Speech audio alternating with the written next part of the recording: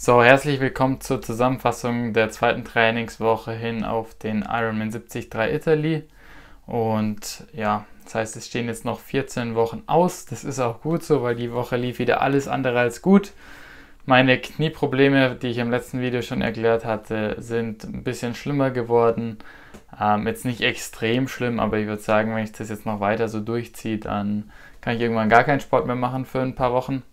Das bedeutet, äh, da muss auf jeden Fall was gemacht werden. Und dann war ich die Woche leider auch noch krank, was einfach das Volumen extrem gesenkt hat. Ja, ich würde sagen, wir schauen uns das Ganze wieder in der Polarübersicht an. Ich fand es ziemlich übersichtlich und deswegen starte ich jetzt die Aufzeichnung auf meinem Laptop und dann gehen wir einmal über die Trainingsdaten von dieser Woche. Also, hier wie gesagt wieder in Polar. Wenn wir uns da gleich mal die, ja, den Vergleich zur letzten Woche anschauen, wenn er da schon da ist waren es circa anderthalb Stunden weniger. Liegt einfach daran, dadurch, dass ich äh, versucht habe, das Laufvolumen noch zu halten und auch ein bisschen krank war, weil ich nicht so viel Radfahren.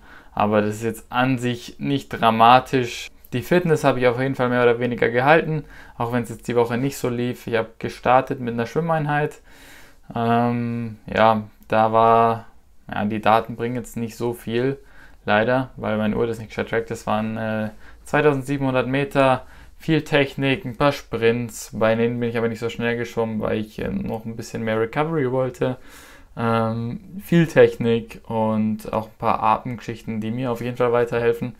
Und ja, war danach vermutlich nicht warm genug angezogen. Es war relativ spät, ähm, schon wieder ein bisschen windig und dann bin ich leider am nächsten Tag mit einer leichten Erkältung aufgewacht. Jetzt nichts Dramatisches, aber ich dachte mir, okay, Laufintervalle skippst du lieber erst einmal, verschiebst du um ein, zwei Tage und bin dann gemütlich Radfahren gegangen. Das war wirklich nichts Besonderes. 112 Durchschnittspuls, 26,3er Schnitt, das Ganze auf dem Rennrad. Jetzt äh, einfach, um dann ja hoffentlich am nächsten Tag wieder gut aufzuwachen. Ist leider nicht passiert. Am nächsten Tag ging es mir ungefähr genauso. Ich war dann äh, ja einmal gemütlich laufen, äh, weil ich auf jeden Fall Lauftechnik trainieren wollte, anstatt den Intervallen. Und ähm, da gemütlich hatte bei dem Lauf auch noch keine Knieprobleme, obwohl es 5 Kilometer waren. Durchschnittsgeschwindigkeit äh, wieder für den Puls für mich ziemlich gut. Also ein positiver Trend, zumindest für die Grundlagengeschwindigkeit. Ähm, das wird sich jetzt vermutlich ein bisschen verändern, dadurch, dass ich eine Laufpause machen werde. Nicht muss, aber ich werde es machen. Ähm, und ja, konstant da dann Lauftechnikübungen gemacht, 10 Minuten, 15 Minuten, einfach bei YouTube noch ein bisschen mehr rausgesucht zu dem, was ich schon kannte und dann noch Krafttraining gemacht, auch diesmal mit Gewichten und eben Core, da Squats und Lunges vor allem mit Gewichten.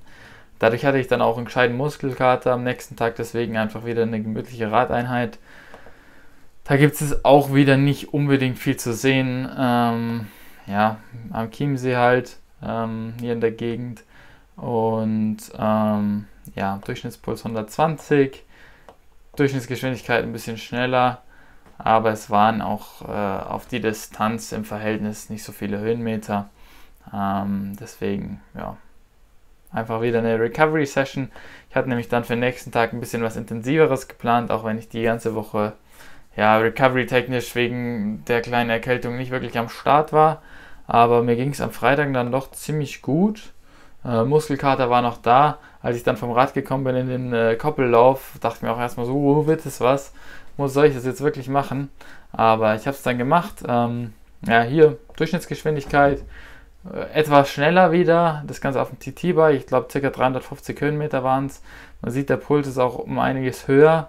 Ähm, ich bin nämlich Intervalle gefahren. Hier zweimal 10 Minuten. Hier von 8 bis 9 und von 2 bis 3. Und auch geschwindigkeitstechnisch äh, da äh, ja, mal um die 40 rum. Ähm, da ging es auch immer bergab und dann ging es einmal bergauf. Ähm, ich weiß jetzt nicht, wie accurate die Geschwindigkeitsmessung von meiner Polaruhr ist tatsächlich, aber ich wollte eigentlich ein Intervall mehr machen, aber dadurch, dass ich hier irgendwie Bauchkrämpfe bekommen habe im zweiten, habe ich dann lieber nochmal Pause gemacht, aber es ging dann wieder und äh, habe dann noch den zweiten durchgezogen. Dann, wie gesagt, in einen Koppellauf rein ähm, da haben sich die Beine gar nicht gut angefühlt und ich wollte das Ganze auch erstmal skippen wegen den Bauchkrämpfen. Ich habe den Koppellauf dann aber durch, durchgezogen, wollte erst nach 500 Metern aufhören, einfach um das in die Beine zu bekommen. Aber es lief dann relativ gut. Ähm, das stimmt hier nicht ganz, weil ich mal wieder ganz blöd gestoppt habe. Ähm, Strava hat es ein bisschen zu weit runtergerechnet, ich würde sagen 3,47 circa. Ja, kann man, kann man nehmen. Ähm, hätte ich nicht erwartet. Also ich bin nach Gefühl gelaufen, habe nicht auf die Zeiten geschaut, habe dann bloß gesehen nach dem ersten Kilometer, wo ich einfach äh, dann wirklich aufhören wollte. Ähm, oh, äh, 3,42 oder so stand auf der Uhr oder was hat er hier unten rausgeschaut? 3,46. Ähm, laufen wir noch weiter. Ich habe mich dann circa im Pulsbereich 195 gefunden, wo ich sagen würde, okay, da kann ich 5 Kilometer halten. So war es zumindest vor sechs Monaten in einem 5 Kilometer Lauf. Im Wettkampf sollte das schon machbar sein. Ähm, jetzt in der Session vermutlich nicht, wie wir es letzte Woche gesehen haben in dem Test, aber ja, ähm, das sollte im Wettkampf definitiv drin sein. Und ähm, mir war dann auch schon klar nach der Session, dass ich mich am äh, Samstag natürlich äh, vor allem mit der Krankheit vorher nicht so toll fühlen werde. Ähm, ich habe mich dann doch einigermaßen gut gefühlt. Ich bin jetzt immer noch ein bisschen fertig. Ähm, ich war auch vorher jetzt dann, wie man sehen kann, hier noch laufen und habe Krafttraining ein bisschen gemacht, Stabi. Aber ähm, ich habe mich dann doch relativ gut gefühlt. Und äh, die ja, Session da hat mir auf jeden Fall auch nochmal ein bisschen Confidence gegeben, dass die Geschwindigkeitskurve doch nach oben zeigt. Grundsätzlich verliere ich natürlich zurzeit ein bisschen Grundlagenausdauer, aber die Geschwindigkeit ähm, zeigt sowohl auf dem Rad als auch beim Laufen dann doch nach oben, was ich positiv finde. Und ich muss ja jetzt äh, auch erstmal noch nicht auf längere Distanzen die Geschwindigkeiten halten. Ich habe zwar die olympische Distanz ähm, und die, die Sprintdistanzen, aber ich glaube, da werde ich vor allem auf dem Rad drücken und dann schauen, was beim Laufen noch geht weil ich jetzt eh, wie gesagt, erstmal eine Laufpause mache. Das heißt, ähm, da bin ich dann vermutlich mit jedem Ergebnis happy, solange äh, es nicht zu langsam ist. Ähm, aber lieber ein bisschen langsamer laufen im Wettkampf als äh, wochenlang Knieprobleme. Deswegen jetzt eine Laufpause, nachdem ich heute dann doch wieder ein bisschen stärkere Knieprobleme bekommen habe. Ich wollte einen progressiven 10 Kilometer Lauf machen, habe das Ganze dann ähm, bei Kilometer 7 abgebrochen ähm, ja, schön progressiv. Man muss aber natürlich auch dazu sagen, dass es da bergauf ging und dann bergab. Deswegen ist der Puls relativ lang noch in Zone 2 geblieben. Ähm, und dann erst so die letzten drei Kilometer. Ähm, also ich würde sagen, das ist normalerweise äh, vom Puls um einiges höher. Man sieht es ja, die sind gleich gewesen, aber dadurch, dass es hier dann mehr bergab ging, war das natürlich ähm, ja, vorherzusehen und dann noch bis 4,30 hoch. Der Kilometer war auch sehr kurvig und ähm, hügelig. Hier kann man sehen, eher bergauf. Das heißt, da war ich auch sehr happy mit 4,30 bei einem 178er Durchschnittspuls. Das, wie gesagt, auch wieder ein Zeichen, dass die Laufgeschwindigkeiten an sich alle nach oben zeigen. Ist halt bloß das Knieproblem.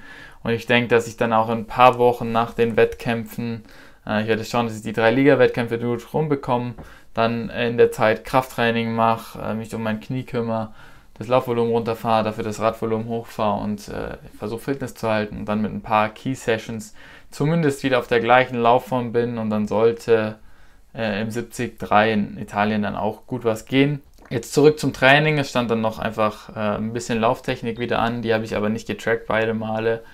Und ähm, wieder Stabi-Training, diesmal nur, ich wollte mir nicht wieder direkt Muskelkater holen, weil das wie gesagt hier noch gezogen hat. Und ich nächste Woche zwar jetzt erstmal ein paar Ruhetage mache, aber wirklich schauen will, dass ich wieder gescheit fit werde, dass die Erkältung ganz raus ist, dass ich wieder im Schlaf auch mich gut erhole.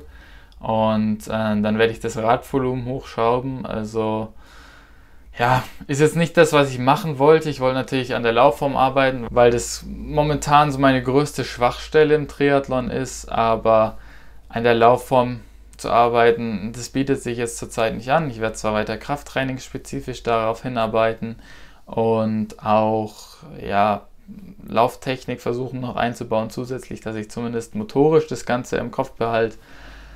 Aber jetzt erstmal, ja, bis zum nächsten Triathlon vermutlich äh, maximal einen Lauf machen dann, um einfach nochmal reinzukommen.